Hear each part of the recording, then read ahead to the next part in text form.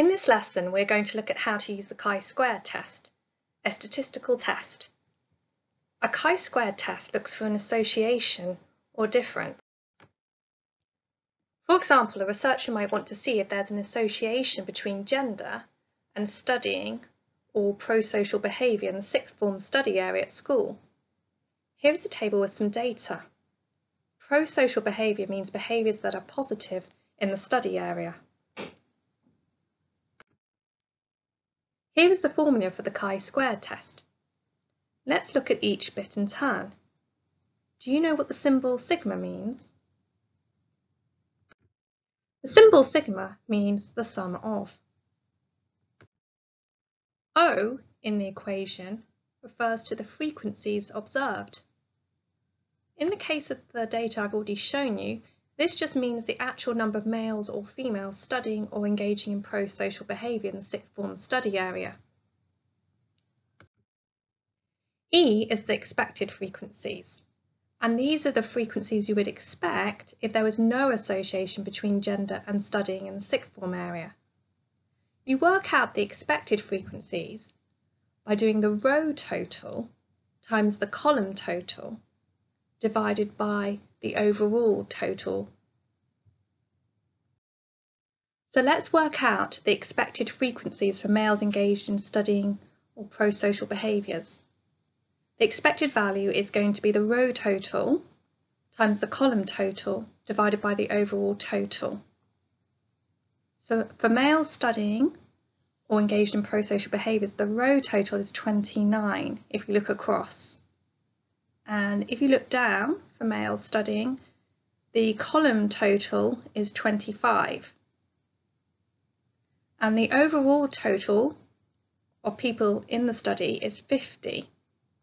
So the expected frequency is going to be 29 times 25 divided by 50, which equals 14.5. Now work out the expected frequencies for males who are not studying or engaged in antisocial behaviours. The expected value is going to be the row total times the column total divided by the overall total. And the row total is 21 if you look across and the column total is 25 and the overall total is 50. So this works out as 10.5. Pause here to calculate this for females studying and for females not studying. A table can be used to help work out the overall chi-squared, which is sum of observed value minus expected values squared divided by expected value.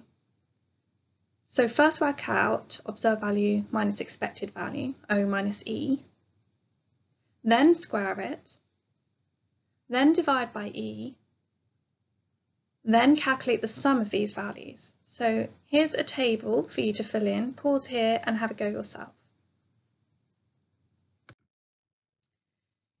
Here's the table with all the values filled in. And you can see that the overall chi-squared is 6.65. And that's the sum of each O minus E squared divided by E.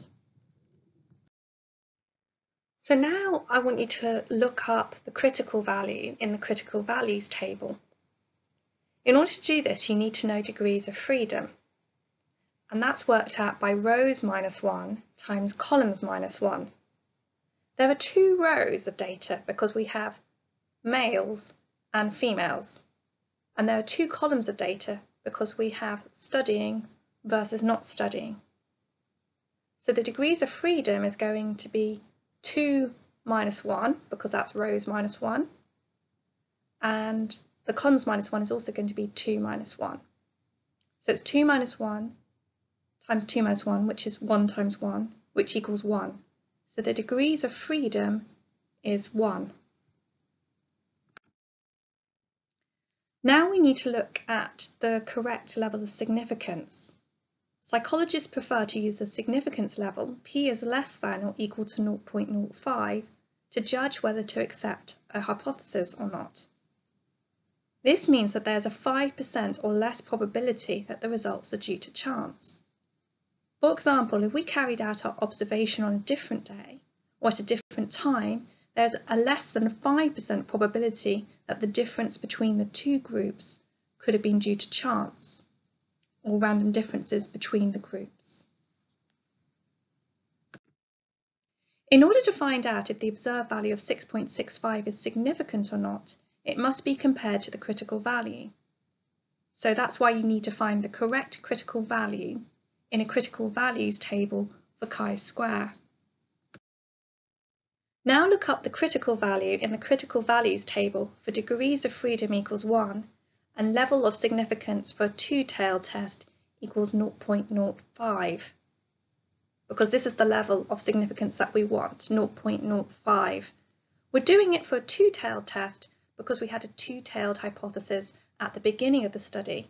We weren't sure whether there was going to be a difference between males and females in terms of studying or not studying in the sixth form area.